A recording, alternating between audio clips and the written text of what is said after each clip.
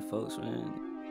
They got no one really, and I'm back with another one. This time we're gonna be taking a look at Loom by Air Instruments, man. It's a modular additive synth, um, and it's really dope. Um, you know, I actually had it in my catalog of VSTs for a while and just never really like dug into it. Like I've opened it, tried it out a couple times, but I never really like dug into it. Um, you know, and man, I'm just kind of disappointed because this VST is beyond dope. All right, it's crazy.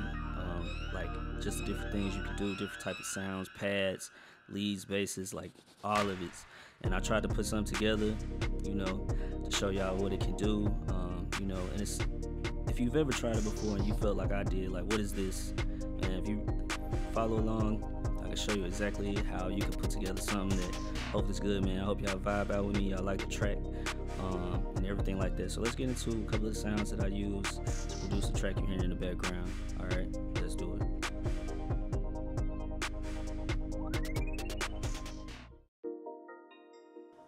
Alright, so this is what you first see when you first open up Loom. Now, if you like me, you go around and you're like, okay, so, you know, how do I change some of the parameters? And you start turning knobs and, you know, you don't ultimately get the effect that you're looking for. Um, at least I know I did it. So, you know, and I was just in the midst of sound exploration because I just had got the M Audio Control 49 and it came packaged. So I was just trying to go through the sounds and, you know, see what spoke to me and, you know, what I'll probably be using soon. So, you know, I clicked over a couple presets and just tried them out. And, you know, really wasn't apparent to me like the power. But, of course, on this challenge, um, the goal was to use one VST and you know see what you can do. See uh see how far you can get and you know how inspired would i be and all, and all those types of things. So uh, after looking around stumbled across edit. And you know i was like let me let's see let's see what edit means. And the sound you know was kind of there. It didn't sound much like this but i went through and i started like trying to investigate like uh, what does any of this do and so um, one thing I can show you right now is if you come right here, um, some just stood out. It was like phrase, and I was like, what does that even mean? Like, how do you control it? And I just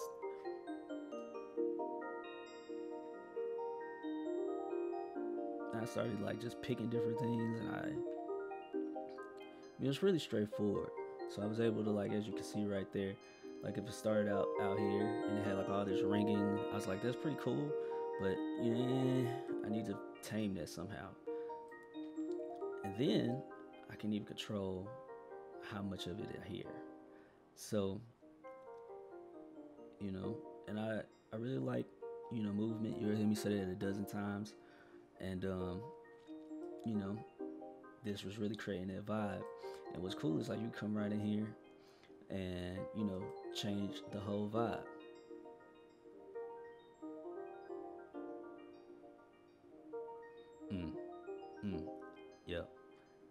So anyway, you know, say you're not feeling it or you want to try something different, you could do you could do just that.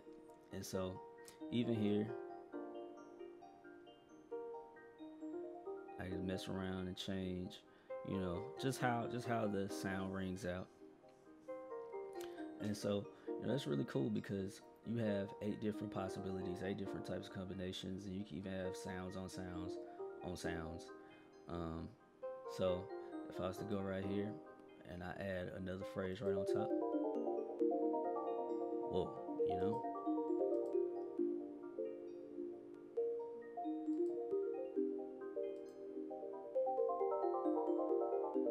Just crazy combinations, right?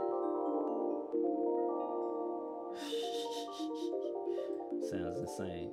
So anyway, you know, that's a brief look at some of the possibilities that you have. Went and jacked that all the way up, but you know, as you can see, and you just go through and try different different type of modules that they have, um, and see what happens. You know, and that and that I think is the real power. Like just the the ability to explore and to try different things. Like even if even if it feels or looks daunting, like you really can't mess up. Um, I don't think. Um, so you know, let's move into the next sound.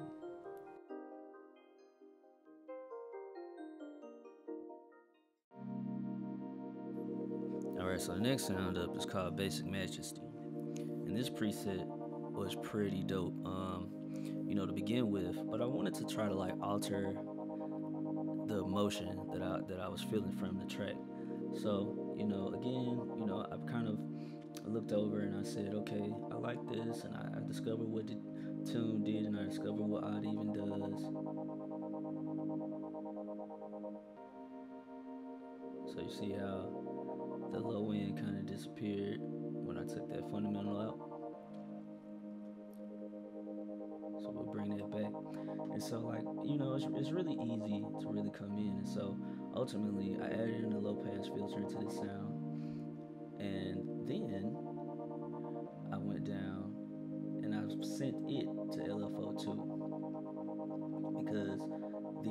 filter was already being affected by ADSR1, so it's kind of got like this breathing. But I wanted to change how it affected, how it was affected, and so, or envelope two. I'm sorry.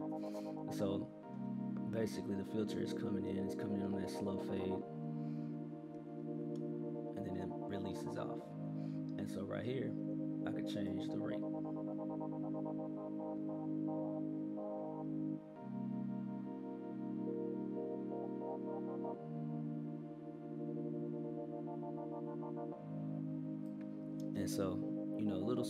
Like that can alter just the emotion that you have.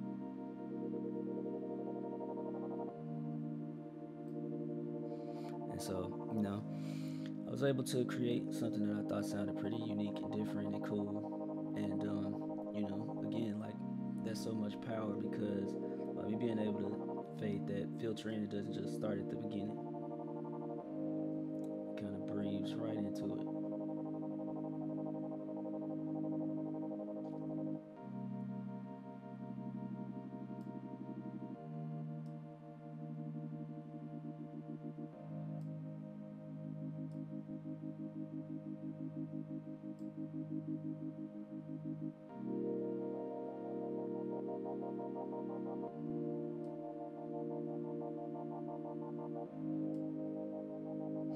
And so yeah, I'm sorry, um, but yeah, so you know, I really dig how this sound feels and and what it does.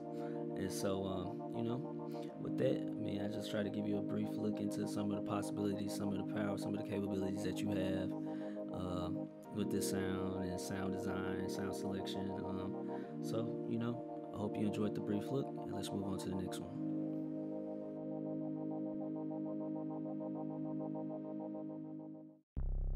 So next up is the bass. Uh, this preset was called the thumper bass, bass, and basically, you know, I was just looking for a good bottom end. You know, trying to find something that fit into the track well, sit well, and this preset was pretty much uh, right in pocket with what I felt, you know, matched the track. And you know, Loom has a wide selection of like, you know, very different sounding basses. Uh, they, they have a few.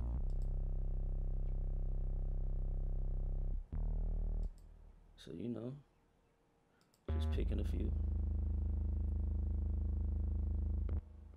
Just, you know, showing you some options. And, you know, I ended up settling on a thumper bass. Uh, definitely felt a lot better uh, for what we were going for with this one. And, you know, that's it, man. Uh, you know, if you ever check this out, you know, I feel like it's got anything that can fit into practically any style of music. Um, plus, again, with all those modules that you could, you know, spend hours and hours and days exploring, um, you can certainly create a, um, a bass all your own. Um, given this, again, it's additive synthesis. So if you're super familiar with that, then you'll know the type of you know basses that you can make. But they definitely give you a, a good range of uh, basses to start from, and then to you know tweak your sound on top of. So you know, let's get into the next sound.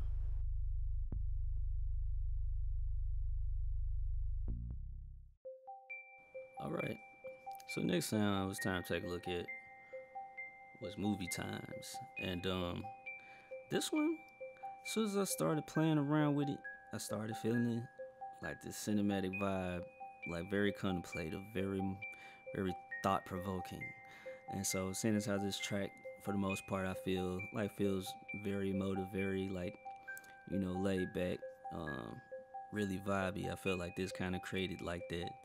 It filled in the, into that space, fit into that idea.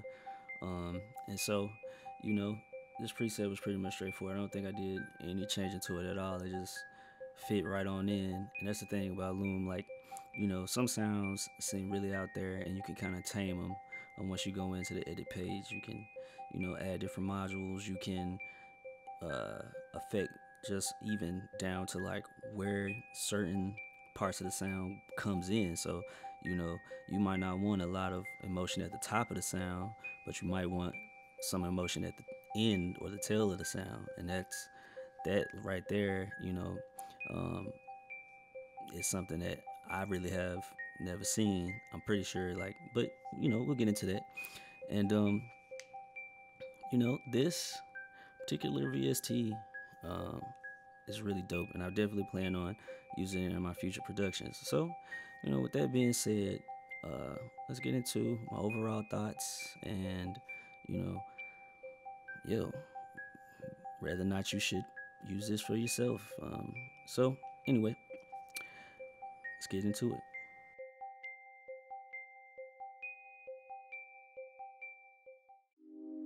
All right, so there's been a brief look at Loom and you know a couple of the sounds that I use in the track. Um, the name of this track is Looming Success.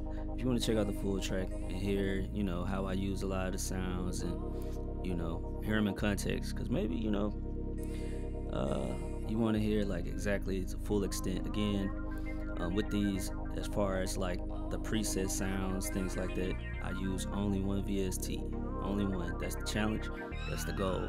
Um, so the basses, leads, pads, you name it, even the sound effects, all come from Loom. And um, you know, I hope you enjoyed it. I hope that you know by hearing this, checking out the music, you know, and inspire you to go craft some greatness. You know, do your own thing. Um, and check out Loom um, if you don't already have it in your uh, catalog of instruments, because you know I kind of look at these as like paintbrushes. You know, you have different type of tools for the job, and so if this sounds like something that you can use and you want to try out and you like the workflow, you like the modular, the additive synthesis thing, then please give Loom a, a, a try. Um, matter of fact, they also have Loom 2 that's out and it's supposed to be like a big upgrade. Um, I'm probably gonna be checking out checking that out real soon. Um, so you know, it's been no one really, and um, you know, I hope that you enjoyed it. See y'all around. Stay tuned for the next one.